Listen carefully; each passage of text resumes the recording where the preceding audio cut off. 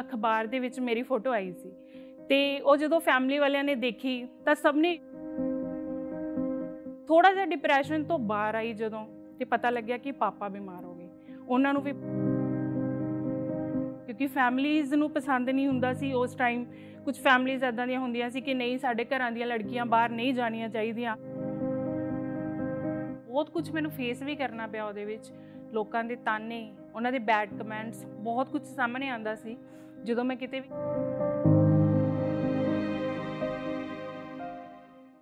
ਕਹਿੰਦੇ ਜ਼ਿੰਦਗੀ ਦੇ ਵਿੱਚ ਜੇ ਕੁਝ ਨਵਾਂ ਸਿੱਖਣਾ ਹੈ, ਤਾਂ ਉਹਦੀ ਕੋਈ ਉਮਰ ਨਹੀਂ ਹੁੰਦੀ ਤੇ ਕੋਈ ਟਾਈਮ ਨਹੀਂ ਹੁੰਦਾ।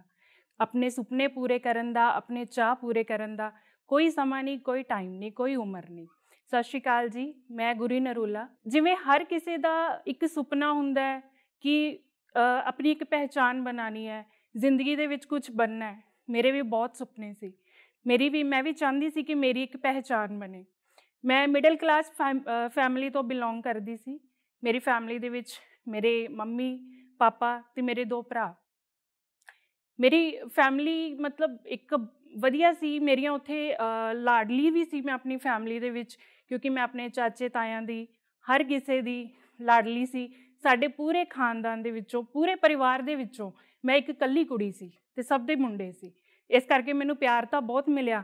ਮੇਰੇ, ਮੇਰੀਆਂ ਜ਼ਰੂਰਤਾਂ ਵੀ ਪੂਰੀਆਂ ਹੋਈਆਂ, ਪਰ ਮੇਰੇ ਸ਼ੌਂਕ, ਮੇਰੇ ਸੁਪਨੇ ਕਦੇ ਪੂਰੇ ਨਹੀਂ ਹੋਏ। ਮੈਂ ਬਹੁਤ ਛੋਟੀ ਸੀ ਤਾਂ ਮੈਨੂੰ ਉਦੋਂ ਵੀ ਸ਼ੌਂਕ ਸੀਗਾ ਕਿ ਮੈਂ ਇੱਕ ਕੋਰੀਓਗ੍ਰਾਫਰ ਬਣਨਾ ਮੈਨੂੰ ਡਾਂਸ ਕਰਨ ਦਾ ਬਹੁਤ ਸ਼ੌਂਕ ਸੀ। ਮੈਂ 5th ਕਲਾਸ ਦੇ ਵਿੱਚ ਸੀ ਜਦੋਂ ਇਹ ਸ਼ੁਰੂਆਤ ਹੋਈ। ਮੈਨੂੰ ਉਦੋਂ ਸੀ ਕਿ ਮੈਂ ਇੱਕ ਸਟੇਜ ਤੇ ਪਰਫਾਰਮ ਕਰਾਂ, ਇਵੈਂਟ ਸੀ ਤੇ ਮੈਂ ਉਦੋਂ ਡਰਦੀ ਵੀ ਬਹੁਤ ਹੁੰਦੀ ਸੀ, ਸਟੇਜ ਤੇ ਖੜੇ ਹੋਣਾ ਤੇ ਮੈਂ ਡਰ ਜਾਣਾ। ਮੇਰੀ ਬਾਡੀ ਸ਼ਿਵਰ ਕਰਨੀ ਸ਼ੁਰੂ ਹੋ ਜਾਂਦੀ ਸੀ। ਤੇ ਉਦੋਂ ਜਦੋਂ ਮੈਂ ਗਈ ਸਟੇਜ ਤੇ ਸਿਲੈਕਸ਼ਨ ਦੇ ਟਾਈਮ ਤੇ, ਮੈਂ ਨਹੀਂ ਕਰ ਪਾਈ। ਮੇਰੀ ਉੱਥੇ, ਮੈਨੂੰ ਉਹਨਾਂ ਨੇ ਰਿਜੈਕਟ ਕਰਤਾ। ਮੈਂ ਵਾਪਸ ਆ ਗਈ। ਮੈਂ ਰੋਈ। ਮੈਂ ਆਪਣਾ ਸ਼ੌਂਕ ਉੱਥੇ ਕਿਵੇਂ ਛੱਡ ਦਿੰਦੀ? ਮੇਰਾ ਸ਼ੌਂਕ ਸੀ ਕਿ ਮੈਂ ਬੰਨਣਾ ਚਾਹਨੀ ਆ ਕੁਝ ਪਰ ਮੈਂ ਉੱਥੇ ਨਹੀਂ ਕਰ ਪਾਈ ਕਿਉਂਕਿ ਮੇਰੇ ਅੰਦਰ ਬਹੁਤ ਕੌਨਫੀਡੈਂਸ ਦੀ ਕਮੀ ਸੀ। ਲੋ ਕੌਨਫੀਡੈਂਸ ਸੀ। ਮੈਂ ਨਹੀਂ ਪਰਫਾਰਮ ਕਰ ਪਾਉਂਦੀ ਸੀ ਸਟੇਜ ਤੇ ਖੜੇ ਹੋ ਕੇ। ਫਿਰ ਮੈਨੂੰ ਕਿਸੇ ਨੇ ਸਮਝਾਇਆ, ਮੇਰੇ ਇੱਕ ਟੀਚਰ ਸੀ, ਉਹਨਾਂ ਨੇ ਮੈਨੂੰ ਸਮਝਾਇਆ ਕਿ ਜੇ ਤੇਰਾ ਐਵੇਂ ਹੀ ਰਹੇਗਾ ਤਾਂ ਤੂੰ ਕਿਤੇ ਪਰਫਾਰਮ ਨਹੀਂ ਕਰ ਪਾਏਂਗੀ, ਤੇਰੇ ਸ਼ੌਂਕ ਤੇਰੇ ਵਿੱਚ ਹੀ ਰਹਿ ਜਾਣਗੇ, ਸੁਪਨੇ ਤੇਰੇ ਕਦੇ ਪੂਰੇ ਨਹੀਂ ਹੋ ਪਾਣਗੇ।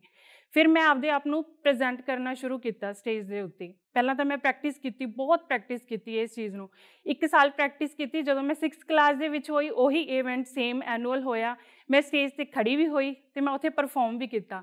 ਔਰ ਮੈਨੂੰ ਬੈਸਟ ਪਰਫਾਰਮਰ ਦਾ ਅਵਾਰਡ ਵੀ ਮਿਲਿਆ ਉਸ ਦਿਨ। ਬਹੁਤ ਖੁਸ਼ ਸੀ। ਆਪਣੀ ਇਸ ਲਾਈਨ ਨੂੰ ਅੱਗੇ ਅੱਗੇ ਲਿਜਾਣਾ ਚਾਹੁੰਦੀ ਸੀ ਕਿ ਮੈਂ ਇਹ ਆਪਣਾ ਨਹੀਂ ਛੱਡਾਂਗੀ ਡਾਂਸ ਕਰਨਾ। ਗਿੱਧੇ ਦਾ ਬਹੁਤ ਸ਼ੌਂਕ ਸੀ, ਭੰਗੜਾ ਕਰਨਾ ਤਾਂ ਬਹੁਤ ਹੀ ਵਧੀਆ ਲੱਗਦਾ ਸੀ। ਤੇ ਕਰਦੀ ਵੀ ਰਹੀ, ਪਰ ਫੈਮਿਲੀ ਵਾਲਿਆਂ ਨੂੰ ਇਹ ਪਸੰਦ ਨਹੀਂ ਸੀ। ਫੈਮਿਲੀ 'ਚ ਸਾਰੇ ਰਿਸ਼ਤੇਦਾਰ ਕਹਿੰਦੇ ਸੀ ਸਟੇਜ ਤੇ ਕਿਉਂ ਪਰਫਾਰਮ ਕਰ ਰਹੀ ਹੈ? ਆਪਣੇ ਘਰਾਂ ਦੀਆਂ ਲੜਕੀਆਂ ਇਦਾਂ ਕਰਦੀਆਂ, ਚੰਗੀਆਂ ਨਹੀਂ ਲੱਗਦੀਆਂ। ਤੇ ਚਾਚੇ ਤਾਇਆਂ ਦੇ ਕਹਿਣ ਤੇ ਮੇਰੇ ਪਾਪਾ ਨੇ ਮਤਲਬ ਛੱਡਤਾ ਕਿ, ਨਹੀਂ, ਤੂੰ ਸਟੇਜ ਤੇ ਨਹੀਂ ਜਾਏਂਗੀ। 10th ਤੱਕ ਮੈਂ ਕਰਦੀ ਰਹੀ ਮੇਰੇ ਮੰਮਾ ਨੇ ਮੈਨੂੰ ਬਹੁਤ ਸਪੋਰਟ ਕੀਤਾ। ਉਹਨਾਂ ਨੇ ਮੈਨੂੰ ਹਰ ਚੀਜ਼ ਲਈ ਮੋਟੀਵੇਟ ਵੀ ਕੀਤਾ ਇਨਕਰੇਜ ਕੀਤਾ ਕਿ ਹਾਂ, ਤੂੰ ਕਰੇ। ਜ਼ਿੰਦਗੀ ਦੇ ਵਿੱਚ ਤੂੰ ਕੁਝ ਬਣੇ, ਕਿਉਂਕਿ ਉਹਨਾਂ ਨੂੰ ਵੀ ਬਹੁਤ ਸ਼ੌਂਕ ਸੀ। ਉਹ ਵੀ ਸਿੰਗਰ ਬੰਨਣਾ ਚਾਹੁੰਦੇ ਸੀ, ਪਰ ਨਹੀਂ ਕਰ ਪਾਏ, ਕਿਉਂਕਿ ਫੈਮਲੀਜ਼ ਨੂੰ ਪਸੰਦ ਨਹੀਂ ਹੁੰਦਾ ਸੀ ਉਸ ਟਾਈਮ ਕੁਝ ਫੈਮਲੀਜ਼ ਐਦਾਂ ਦੀਆਂ ਹੁੰਦੀਆਂ ਸੀ ਕਿ ਨਹੀਂ, ਸਾਡੇ ਘਰਾਂ ਦੀਆਂ ਲੜਕੀਆਂ ਬਾਹਰ ਨਹੀਂ ਜਾਣੀਆਂ ਚਾਹੀਦੀਆਂ। ਮੰਮਾ ਅਕਸਰ ਹੀ ਇਨਕਰੇਜ ਕਰਦੇ ਰਹਿੰਦੇ ਸੀ, ਪਰ ਨਹੀਂ ਕਰ ਪਾਈ ਪਾਪਾ ਦੇ ਕਹਿਣ ਤੇ ਪਲੱਸ 1 ਦੇ ਵਿੱਚ ਉਹ ਸਟੇਜ ਮੇਰੇ ਤੋਂ ਖੋ ਗਿਆ। ਮੈਂ ਛੱਡਤਾ, ਕਿਉਂਕਿ ਉਸ ਟਾਈਮ ਅਖਬਾਰ ਦੇ ਵਿੱਚ ਮੇਰੀ ਫੋਟੋ ਆਈ ਸੀ। ਤੇ ਉਹ ਜਦੋਂ ਫੈਮਿਲੀ ਵਾਲਿਆਂ ਨੇ ਦੇਖੀ ਤਾਂ ਸਭ ਨੇ ਇਸ਼ੂ ਕ੍ਰੀਏਟ ਕੀਤਾ। ਸੋ ਇਹ ਹੋਇਆ ਕਿ ਆਪਣੀ ਲੜਕੀ ਕੀ ਕਰ ਰਹੀ ਹੈ? ਸਟੇਜ ਤੇ ਖੜੇ ਹੋ ਕੇ ਪਰਫਾਰਮ ਕਰ ਰਹੀ ਹੈ। ਆਪਣੇ ਘਰਾਂ ਦੀਆਂ ਲੜਕੀਆਂ ਐਦਾਂ ਕਰਦੀਆਂ, ਚੰਗੀਆਂ ਨਹੀਂ ਲੱਗਦੀਆਂ। ਤਾਂ ਫਿਰ ਉਸ ਟਾਈਮ ਤੇ ਮੈਂ ਛੱਡ ਦਿੱਤਾ ਸਾਰਾ ਕੁਝ ਫਿਰ ਮੇਰੀ ਕਿਵੇਂ ਨਾ ਕਿਵੇਂ ਗ੍ਰੈਜੂਏਸ਼ਨ ਹੋਈ। ਸ਼ਹਿਰ ਤੋਂ ਬਾਹਰ ਜਾਣਾ ਚਾਹੁੰਦੀ ਸੀ, ਪੜ੍ਹਨਾ ਚਾਹੁੰਦੀ ਸੀ ਕੁਝ ਬੰਨਣਾ ਚਾਹੁੰਦੀ ਸੀ, ਇੱਕ ਪਹਿਚਾਨ ਬਣਾਉਣਾ ਚਾਹੁੰਦੀ ਸੀ। ਸ਼ਹਿਰ ਤੋਂ ਬਾਹਰ ਤੱਕ ਹੀ ਘਰਦਿਆਂ ਨੇ ਘਰ ਤੋਂ ਬਾਹਰ ਨਿਕਲਣਾ ਵੀ ਕਹਿਤਾ ਕਿ ਨਹੀਂ, ਇੱਥੇ ਕਰਨਾ ਜੋ ਵੀ ਕਰਨਾ ਕਿਵੇਂ ਨਾ ਕਿਵੇਂ ਮੇਰੀ ਗ੍ਰੈਜੂਏਸ਼ਨ ਤੱਕ ਕੰਪਲੀਟ ਹੋਈ। ਉਸ ਤੋਂ ਬਾਅਦ ਮੈਂ ਜਰਨਲਿਜ਼ਮ ਦਾ ਕੋਰਸ ਵੀ ਕਰਨਾ ਚਾਹੁੰਦੀ ਸੀ ਜਰਨਲਿਸਟ ਬਣਨਾ ਚਾਹੁੰਦੀ ਸੀ, ਪਰ ਨਹੀਂ ਬਣ ਪਾਈ। ਜਦੋਂ ਇਹ ਗੱਲ ਕੀਤੀ ਘਰ ਕਿ ਮੈਂ ਆਪਣੇ ਸੁਪਨੇ ਪੂਰੇ ਕਰਨਾ ਚਾਹੁੰਦੀ ਆ ਮੈਂ ਜਰਨਲਿਸਟ ਬਣਨਾ ਚਾਹੁੰਦੀ ਆ ਤਾਂ ਘਰਦਿਆਂ ਨੇ ਮੇਰਾ 18 ਸਾਲ ਦੀ ਉਮਰ ਦੇ ਵਿੱਚ ਹੀ ਵਿਆਹ ਕਰਤਾ।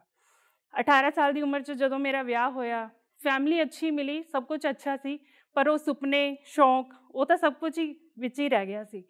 ਕਿਉਂਕਿ 3 ਮਹੀਨੇ ਬਾਅਦ ਮੈਰਿਜ ਤੋਂ ਮੈਂ ਪ੍ਰੈਗਨੈਂਟ ਹੋ ਗਈ ਸੀ ਔਰ ਉਸ ਟਾਈਮ ਡਾਂਸ ਕਰਨਾ ਤਾਂ ਬਹੁਤ ਦੂਰ ਦੀ ਗੱਲ ਆਪਾਂ ਸੋਚ ਵੀ ਨਹੀਂ ਸਕਦੇ।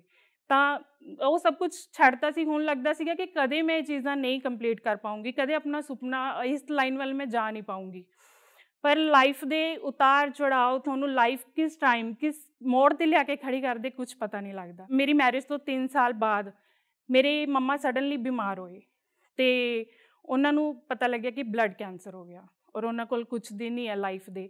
ਮੈਂ ਮਤਲਬ ਮੈਨੂੰ ਯਕੀਨ ਨਹੀਂ ਹੋ ਰਿਹਾ ਸੀਗਾ ਕਿ ਇੰਨੀ ਜਲਦੀ ਵੀ ਜ਼ਿੰਦਗੀ ਦੇ ਵਿੱਚੋਂ ਕੋਈ ਐਦਾਂ ਖਤਮ ਹੋ ਸਕਦਾ 10-12 ਦਿਨ ਡਾਕਟਰ ਨੇ ਕਿਹਾ ਕਿ ਉਹ ਸਿਰਫ 10-12 ਦਿਨ ਜੀਣਗੇ, ਉਹੀ ਲਾਈਫ ਦੇ ਵਿੱਚ ਹੋਇਆ ਕਿ 10-12 ਦਿਨ ਬਾਅਦ ਉਹਨਾਂ ਦੀ ਲਾਈਫ ਖਤਮ ਹੋ ਗਈ, ਉਹ ਚਲੇ ਗਏ ਲਾਈਫ ਦੇ ਵਿੱਚੋਂ, ਜ਼ਿੰਦਗੀ ਚੋਂ, ਸਾਨੂੰ ਸਭ ਨੂੰ ਛੱਡ ਗਏ।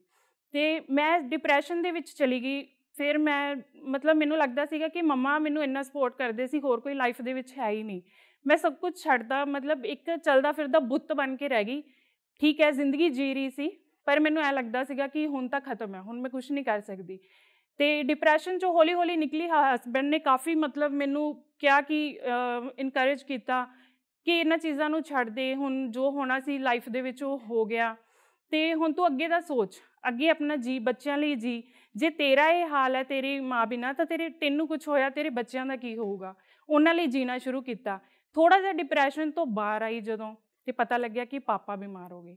ਉਹਨਾਂ ਨੂੰ ਵੀ ਬਲੱਡ ਕੈਂਸਰ ਤੇ ਉਹ ਵੀ, ਉਹਨਾਂ ਕੋਲ ਵੀ ਜ਼ਿੰਦਗੀ ਦੇ ਕੁਝ ਦਿਨ, ਕਿਉਂਕਿ ਉਹਨਾਂ ਦਾ ਵੀ ਕੋਈ ਟ੍ਰੀਟਮੈਂਟ ਨਹੀਂ ਸੀ। ਆਪਦੇ ਕੋਲ ਲੈ ਕੇ ਆਈ ਉਹਨਾਂ ਨੂੰ। ਮੈਂ ਆਪਣੇ ਸਹੁਰੇ ਘਰ 'ਚ ਲੈ ਕੇ ਮਾਪਿਓ ਦੀ ਸੇਵਾ ਕੀਤੀ ਇਵਨ ਆਪਦੇ ਹੱਥਾਂ ਨਾਲ ਮੈਂ ਆਪਣੇ ਮਾਪਿਓ ਦਾ ਸੰਸਕਾਰ ਕੀਤਾ, ਉਹਨਾਂ ਦਾ ਪੁੱਤ ਬਣ ਕੇ। ਜਦੋਂ ਪਾਪਾ ਚਲੇ ਗਏ ਜ਼ਿੰਦਗੀ ਦੇ ਵਿੱਚੋਂ, ਹੁਣ ਲੱਗਦਾ ਸੀ ਕਿ ਮੈਂ ਤਾਂ ਕੁਝ ਕਰ ਹੀ ਨਹੀਂ ਪਾਉਂਗੀ ਹੁਣ, ਬਸ ਖਤਮ ਹੋ ਗਈ ਜ਼ਿੰਦਗੀ। ਫਿਰ ਉਸ ਤੋਂ ਬਾਅਦ ਹੌਲੀ ਹੌਲੀ ਉਹ ਡਿਪਰੈਸ਼ਨ ਚੋਂ ਨਿਕਲਣਾ ਸ਼ੁਰੂ ਕੀਤਾ। ਮਤਲਬ ਐਵੇਂ ਹੋ ਗਿਆ ਕਿ ਛੱਡਣਾ ਪਏਗਾ, ਬੱਚਿਆਂ ਲਈ ਜੀਣਾ ਪਏਗਾ, ਜੋ ਹੋ ਗਿਆ ਉਹਨੂੰ ਭੁੱਲਣਾ ਪਏਗਾ। ਤੇ ਫਿਰ ਮੈਂ ਮੇਰੇ ਹਸਬੰਡ ਨੇ ਮੈਨੂੰ ਕਿਹਾ ਕਿ ਤੂੰ ਤੈਨੂੰ ਸ਼ੌਂਕ ਸੀ ਡਾਂਸ ਕਰਨ ਦਾ, ਹਨਾ? ਤੇ ਤੂੰ ਇਸ ਚੀਜ਼ ਨੂੰ ਅੱਗੇ ਲੈ ਕੇ ਆ। ਤੂੰ ਮੋਟੀਵੇਟ ਹੋ, ਮਤਲਬ ਇਨਕਰੇਜ ਹੋ ਇਹਨਾਂ ਚੀਜ਼ਾਂ ਤੋਂ। ਛੱਡ ਦੇ, ਦਿਮਾਗ ਚੋਂ ਕੱਢ ਦੇ, ਜੋ ਕੁਝ ਵੀ ਹੋ ਗਿਆ। ਤੇ ਮਾਪਿਓ ਚਲੇ ਤਾਂ ਗਏ, ਪਰ ਉਹ ਮੈਨੂੰ ਇੰਨਾ ਕੁ ਜੀਣਾ ਸਿਖਾ ਗਏ, ਇੰਨਾ ਕੁ ਦੱਸ ਗਏ ਮੈਨੂੰ ਕਿ ਜ਼ਿੰਦਗੀ ਬਹੁਤ ਛੋਟੀ ਹੈ। ਜੋ ਵੀ ਕਰਨਾ ਕਰ ਲੋ ਸੁਪਨੇ ਪੂਰੇ ਕਰਨੇ ਆ ਕਰ ਲੋ ਕਿਉਂਕਿ ਫਿਰ ਕੁਝ ਨਹੀਂ ਹੱਥ ਆਂਦਾ ਤੇ ਕਦੋਂ ਵੀ ਕਿਸੇ ਵੀ ਟਾਈਮ ਕੋਈ ਵੀ ਖਤਮ ਹੋ ਸਕਦਾ। ਫਿਰ ਮੇਰੇ ਹਸਬੰਡ ਨੇ ਜਦੋਂ ਮੈਨੂੰ ਸਪੋਰਟ ਕੀਤਾ ਤੇ ਉਹ ਡਿਪਰੈਸ਼ਨ ਚੋਂ ਨਿਕਲਣ ਲਈ ਮੈਂ ਆਪਣੇ ਡਾਂਸ ਨੂੰ, ਆਪਣੇ ਸ਼ੌਂਕ ਨੂੰ ਇੱਕ ਐਜ਼ ਅ ਥੈਰੇਪੀ ਯੂਜ਼ ਕੀਤਾ। ਮਤਲਬ ਮੈਂ ਡਾਂਸ ਦੀ ਪ੍ਰੈਕਟਿਸ ਕਰਨੀ ਸ਼ੁਰੂ ਕਰਤੀ ਹੌਲੀ ਹੌਲੀ ਉਹ ਪ੍ਰੈਕਟਿਸ ਕਰਦੇ ਕਰਦੇ ਮੈਂ ਇੰਨੀ ਕੁ ਪਰਫੈਕਟ ਬਣ ਗਈ 3 ਸਾਲਾਂ ਦੇ ਵਿੱਚ। ਉਸ ਤੋਂ ਬਾਅਦ ਮੇਰਾ ਇੱਕ ਡਾਂਸ ਸਟੂਡੀਓ ਖੋਲਤਾ ਮੇਰੇ ਹਸਬੰਡ ਨੇ ਮੇਰੇ ਲਈ। ਉੱਥੇ ਮਤਲਬ ਮੈਂ 올ਡ ਏਜ ਹੈ, ਬੱਚੇ ਹੈ ਯੰਗਸਟਰ ਹੈ, ਸਭ ਨੂੰ ਮੈਂ ਕਰਵਾ ਰਹੀ ਹਾਂ ਗਿੱਧਾ, ਭੰਗੜਾ ਔਰ ਸਭ ਲਈ ਮੈਂ ਮਤਲਬ ਮੈਨੂੰ ਬਹੁਤ ਖੁਸ਼ੀ ਹੋ ਰਹੀ ਹੈ ਕਿ ਮੈਂ ਆਪਣਾ ਇਹ ਸੁਪਨਾ ਵੀ ਪੂਰਾ ਕਰ ਰਹੀ ਹਾਂ। ਫਿਰ ਇਹ ਸਭ ਤਾਂ ਕਰ ਹੀ ਰਹੀ ਸੀ, ਪਰ ਮੈਨੂੰ ਨਾਲ ਹੀ ਇੱਕ ਸਟੇਜ ਵੀ ਚਾਹੀਦਾ ਸੀ ਕਿ ਮੈਨੂੰ ਇੱਕ ਸਟੇਜ ਵੀ ਹੋਵੇ ਜਿੱਥੇ ਜਦੋਂ ਮੈਂ ਇੱਕ ਸਟੇਜ ਗਵਾ ਲਿਆ ਸੀ ਛੋਟੀ ਉਮਰ ਦੇ ਵਿੱਚ, ਤੇ ਹੁਣ ਮੈਨੂੰ ਇੱਕ ਸਟੇਜ ਵੀ ਚਾਹੀਦਾ ਜਿੱਥੇ ਮੈਂ ਪਰਫਾਰਮ ਕਰ ਸਕਾਂ। ਤੇ ਉਸ ਤੋਂ ਬਾਅਦ ਇੱਕ ਕੰਪੀਟੀਸ਼ਨ ਆਇਆ state level competition Mrs Malwa Punjaban ਦਾ ਮੈਨੂੰ ਲੱਗਦਾ ਵੀ ਨਹੀਂ ਸੀਗਾ ਕਿ ਮੈਂ ਕਰ ਵੀ ਪਾਉਂਗੀ ਜਾਂ ਨਹੀਂ, ਪਤਾ ਨਹੀਂ, ਪਰ ਮੈਂ ਕੋਸ਼ਿਸ਼ ਜ਼ਰੂਰ ਕੀਤੀ ਕਿ ਮੈਨੂੰ ਸ਼ਾਇਦ ਇਹ ਮੌਕਾ ਦੁਬਾਰਾ ਨਹੀਂ ਮਿਲੂਗਾ। ਮੈਂ ਮਿਸਿਸ ਮਾਲਵਾ ਪੰਜਾਬਨ ਦਾ ਉਹ ਸਟੇਜ ਯੂਜ਼ ਕੀਤਾ। ਉਹਦੇ ਲਈ ਮੈਂ ਜਿੰਨੀ ਪ੍ਰੈਕਟਿਸ ਕਰ ਸਕਦੀ ਸੀ, ਬਹੁਤ ਪ੍ਰੈਕਟਿਸ ਕੀਤੀ ਉਹਦੇ ਲਈ ਮੈਂ। ਫਿਰ ਉਹ ਮੈਂ ਉਸ ਸਟੇਜ ਤੇ ਖੜੀ ਹੋਈ, ਮੈਂ ਪਰਫਾਰਮ ਕੀਤਾ ਔਰ ਮੈਂ ਮਿਸਿਸ ਮਾਲਵਾ ਪੰਜਾਬਨ ਦਾ ਉਹ ਵਿਨ ਵੀ ਕੀਤਾ ਉਸ ਟਾਈਮ ਉਹ ਸਟੇਜ ਨੂੰ। ਔਰ ਮੈਨੂੰ ਜਿਹੜੀ ਮੈਂ ਪਹਿਲਾਂ ਇੰਨਾ ਕੁ ਡਰਦੀ ਹੁੰਦੀ ਸੀ ਸਟੇਜ ਤੇ ਜਾਣ ਦੇ ਟਾਈਮ ਤੇ, ਮੈਨੂੰ ਸਿਰੇ ਦੀ ਆਤਮ ਵਿਸ਼ਵਾਸੀ ਦਾ ਅਵਾਰਡ ਵੀ ਮਿਲਿਆ ਉੱਥੇ। ਤੇ ਮੈਨੂੰ ਲੱਗਿਆ ਕਿ ਹਾਂ, ਮੈਂ ਆਪਣੇ ਸੁਪਨੇ ਜੀ ਰਹੀ ਹਾਂ। ਜਦੋਂ ਮੈਂ ਆਪਣੀ ਕੋਰੀਓਗ੍ਰਾਫੀ ਵਾਲੀ ਲਾਈਨ ਸ਼ੁਰੂ ਕੀਤੀ, ਤਾਂ ਮੈਨੂੰ ਬਹੁਤ ਸਾਰੀਆਂ ਮੁਸੀਬਤਾਂ ਲਾਈਕ ਬਹੁਤ ਕੁਝ ਮੈਨੂੰ ਫੇਸ ਵੀ ਕਰਨਾ ਪਿਆ ਉਹਦੇ ਵਿੱਚ। ਲੋਕਾਂ ਦੇ ਤਾਨੇ, ਉਹਨਾਂ ਦੇ ਬੈਡ ਕਮੈਂਟਸ ਬਹੁਤ ਕੁਝ ਸਾਹਮਣੇ ਆਂਦਾ ਸੀ। ਜਦੋਂ ਮੈਂ ਕਿਤੇ ਵੀ ਕਿਸੇ ਇਵੈਂਟ ਤੇ ਜਾਣਾ ਤੇ ਉਹ ਮੈਂ ਸੀਗਾ ਕਿ ਕੋਰੀਓਗ੍ਰਾਫੀ ਇਹ ਕਰਵਾਉ ਕੋਰੀਓਗ੍ਰਾਫੀ ਮਤਲਬ ਬਾਡੀ ਸ਼ੇਮਿੰਗ ਵੀ ਹੁੰਦੀ ਸੀ ਉਹਦੇ ਵਿੱਚ, ਬਹੁਤ ਸਾਰੇ ਬੈਡ ਕਮੈਂਟਸ ਵੀ ਹੁੰਦੇ ਸੀ ਕਿ ਕੁੜੀ ਕੀ ਕਰਵਾਉਗੀ ਤੇ ਇਹਦੇ ਵਿੱਚ ਕੀ, ਇਹਦੀ ਬਾਡੀ ਵਿੱਚ ਕੀ ਫਲੈਕਸੀਬਿਲਟੀ ਹੋਊਗੀ ਜਾਂ ਬਹੁਤ ਗੱਲਾਂ ਸੁਣਨ ਨੂੰ ਮਿਲਦੀਆਂ ਸੀ, ਤੇ ਬਹੁਤ ਜਣਿਆਂ ਨੇ ਮਤਲਬ ਮੇਰੇ ਉਹ ਇਵੈਂਟ ਰਿਜੈਕਟ ਵੀ ਕੀਤੇ, ਮੇਰੀ ਕੋਰੀਓਗ੍ਰਾਫੀ ਲਾਈਨ ਦੇ ਵਿੱਚ, ਮਤਲਬ ਮੇਰੇ ਕੋਲੋਂ ਸਿੱਖਣ ਆਂਦੇ ਸੀ, ਪਰ ਉਹ ਛੱਡ ਕੇ ਚਲੇ ਜਾਂਦੇ ਸੀ ਕਿ ਨਹੀਂ, ਇਹਦਾ ਕੰਮ ਮਤਲਬ ਨਹੀਂ, ਉਹ ਮੈਨੂੰ ਦੇਖ ਕੇ ਜੱਜ ਕਰਦੇ ਸੀ। ਕਿ ਨਹੀਂ ਇਹਦਾ ਕੰਮ ਕੀ, ਇਹ ਕੀ ਕਰਵਾਉਗੀ ਜਾਂ ਕੁਝ ਕਿਸੇ ਮੇਲ ਕੋਰੀਓਗ੍ਰਾਫਰ ਕੋਲ ਚਲਦੇ ਆ ਉੱਥੋਂ ਸਿੱਖ ਕੇ ਆਵਾਂਗੇ। ਪਰ ਜਿਵੇਂ ਜਿਵੇਂ ਮੈਨੂੰ ਇਹ ਚੀਜ਼ਾਂ ਫੀਲ ਤਾਂ ਬਹੁਤ ਹੁੰਦੀਆਂ ਸੀ ਕਿ ਕੀ ਚੱਲ ਰਿਹਾ ਹੈ ਹਨਾ? ਮੈਨੂੰ ਕਿਉਂ ਨਹੀਂ ਦੇਖ ਰਹੇ ਕਿ ਮੈਂ ਕੀ ਕਰ ਰਹੀ ਹਾਂ? ਜਿਵੇਂ ਜਿਵੇਂ ਮੇਰਾ ਨਾਮ ਹੋਣਾ ਸ਼ੁਰੂ ਹੋਇਆ ਤੇ ਉਹੀ ਲੋਕਾਂ ਨੇ ਮੈਨੂੰ ਦੇਖਿਆ ਕਿ ਹਾਂ, ਇਹ ਕਰ ਰਹੀ ਹੈ, ਇਹਦਾ ਨਾਮ ਹੈ। ਫਿਰ ਉਹਨਾਂ ਨੇ ਆਪ ਹੀ ਮੇਰੇ ਕੋਲ ਦੁਬਾਰਾ ਕਈ ਵਾਰੀ ਆਇਆ। ਅੱਜ ਵੀ ਉਹ ਲੋਕ ਮੇਰੇ ਤੋਂ ਕਲਾਸਾਂ ਲੈ ਰਹੇ ਆ, ਜਿਨ੍ਹਾਂ ਨੇ ਮੈਨੂੰ ਬੈਡ ਕਮੈਂਟਸ ਵੀ ਕੀਤੇ ਸੀਗੇ ਕਿ ਇਹ ਕੀ ਕਰਵਾਉਗੀ ਉਹ ਮੇਰੇ ਕੋਲੋਂ ਹੁਣ ਪਿਛਲੇ 2 ਸਾਲਾਂ ਤੋਂ ਸਿੱਖ ਰਹੇ ਆ। ਤੇ ਅੱਜ ਮੈਂ ਇੱਕ ਸਕਸੈਸਫੁਲ ਕੋਰੀਓਗ੍ਰਾਫਰ ਆ ਤੇ ਜੋ ਵੀ ਮੇਰੇ ਕੋਲੇ ਆਂਦਾ ਹੈ ਬਹੁਤ ਖੁਸ਼ ਹੁੰਦਾ ਹੈ ਕਿ ਹਾਂ, ਇਹਦਾ ਵਰਕ ਬਹੁਤ ਅੱਛਾ ਹੈ, ਬਹੁਤ ਅੱਛੀ ਜੋਬ ਹੈ, ਇਹਦੀ ਬਹੁਤ ਵਧੀਆ ਕੰਮ ਕਰ ਰਹੀ ਹੈ। ਔਰ ਉਹ ਅੱਗੇ ਵੀ ਆਪਣੇ ਰੈਫਰ ਕਰਦੇ ਆ ਕਿ ਹਾਂ, ਤੁਸੀਂ ਇਹਨਾਂ ਕੋਲੋਂ ਕਲਾਸਿਸ ਲਓ ਜਾ ਕੇ। ਤੇ ਹੁਣ ਮੈਂ ਕੈਂਪ ਲਗਾ ਰਹੀ ਹਾਂ, ਜਿਵੇਂ 올ਡ ਏਜ ਸੀਨੀਅਰ ਸਿਟੀਜ਼ਨਸ ਹੈਗੇ ਆ, ਉਹਨਾਂ ਨੂੰ ਵੀ ਬਹੁਤ ਖੁਸ਼ੀ ਹੁੰਦੀ ਹੈ ਔਰ ਬਹੁਤ ਕ੍ਰੇਜ਼ੀ ਹੈ ਉਹ ਸਾਰੇ ਇਹਨਾਂ ਚੀਜ਼ਾਂ ਨੂੰ ਲੈ ਕੇ ਮੇਰੇ ਕੋਲੋਂ ਸਿੱਖ ਰਹੇ ਆ। ਮੈਨੂੰ ਵੀ ਬਹੁਤ ਖੁਸ਼ੀ ਮਹਿਸੂਸ ਹੁੰਦੀ ਹੈ ਔਰ ਮੈਂ ਸੋਸ਼ਲ ਕੰਮ ਵੀ ਕਰ ਰਹੀ ਹਾਂ ਨਾਲ ਨਾਲ ਇਸੇ ਕਰਕੇ ਕਿ ਉਹਨਾਂ ਲਈ ਕੋਈ ਫੀਸ ਨਹੀਂ ਹੁੰਦੀ।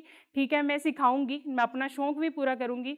ਸ਼ੌਂਕ ਤਾਂ ਰੱਖਿਆ ਹੀ ਰੱਖਿਆ, ਨਾਲ ਇਹ ਸੁਪਨਾ ਵੀ ਬਹੁਤ ਵੱਡਾ ਸੀ, ਪੂਰਾ ਹੋ ਰਿਹਾ ਮੇਰਾ। ਕੁਝ ਕਰਨ ਦੀ ਜਾਂ ਸਿੱਖਣ ਦੀ ਕੋਈ ਉਮਰ ਨਹੀਂ ਹੁੰਦੀ, ਮੈਂ ਵੀ ਆਪਣੀ ਕੋਈ ਉਮਰ ਨਹੀਂ ਦੇਖੀ, ਕੋਈ ਟਾਈਮ ਨਹੀਂ ਦੇਖਿਆ ਕਿ ਮੈਂ ਦੋ ਬੱਚਿਆਂ ਦੀ ਮਾਂ ਜਾਂ ਫਿਰ ਮੈਂ ਇੱਕ ਫੈਮਿਲੀ ਨੂੰ ਵੀ ਸੰਭਾਲਣਾ ਹੈ, ਮੈਂ ਉਹਦੇ ਲਈ ਕਰਨਾ ਮੈਂ ਉਹ ਵੀ ਕਰ ਰਹੀ ਹਾਂ ਨਾਲ ਨਾਲ ਪਰ ਮੈਂ ਫੋਕਸ ਕੀਤਾ ਹੋਇਆ, ਮੈਂ ਆਪਣੇ ਸੁਪਨਿਆਂ ਨੂੰ ਪੂਰਾ ਕਰਨ ਦੇ ਵਿੱਚ ਮੈਂ ਉਹ ਵੀ ਕਰ ਰਹੀ ਹਾਂ, ਪੂਰੀ ਹਿੰਮਤ ਨਾਲ ਮੈਂ ਲੱਗੀ ਹੋਈ ਹਾਂ, ਮੈਂ ਸਾਰੇ ਕੰਮ ਕਰ ਰਹੀ ਹਾਂ ਔਰ ਮੈਂ ਹਮੇਸ਼ਾ ਕਰਦੀ ਰਹੂੰਗੀ। ਇਸ ਵੀਡੀਓ ਬਾਰੇ ਆਪਣੀ رائے ਕਮੈਂਟ ਸੈਕਸ਼ਨ ਵਿੱਚ ਸਾਨੂੰ ਦੱਸੋ ਅਤੇ ਆਪਣੇ ਮਿੱਤਰਾਂ ਨਾਲ ਇਹ ਵੀਡੀਓ ਸ਼ੇਅਰ ਕਰਨਾ ਨਾ ਭੁੱਲਿਓ